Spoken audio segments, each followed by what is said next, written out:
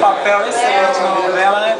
Queria que você falasse um pouquinho, Marcelo. Você tem mais algum plano de já começar alguma outra novela, alguma coisa? Posso, eu tô começando meu espetáculo agora depois de terminar por conta da novela, realmente comunidade de gravação, novela eu tô esperando depois do espetáculo.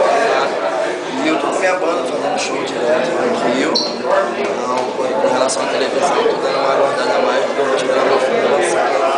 Eu fiz esse convite que sai amanhã à noite. Ah, legal, cara. E o que é da tua banda? Fala um pouquinho então pra gente, como faz pra contratar, como tá.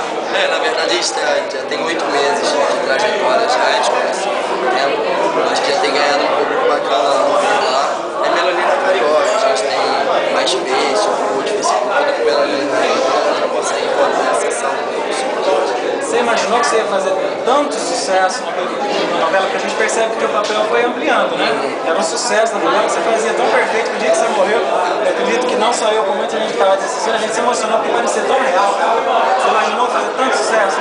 Acho que é um pouco da cultura da gente, né? De televisão, a gente assiste televisão desde muito pequeno, então é uma coisa invasiva, já é natural da nossa vida. Mas eu fiquei feliz pela repercussão, o conhecimento da galera, e é isso, adoro conhecer as pessoas, poder mostrar meu trabalho, as pessoas se identificam, eu fico feliz com isso. Você poderia só encerrar, deixar uma colocação de Latão? Um beijão aí, carinho de todos aí, muito obrigado por tudo. Se Deus quiser, a gente vai voltar muito mais vezes. Obrigado, cara. Sucesso. Que Deus te conserve esse cara humilde, muito talentoso.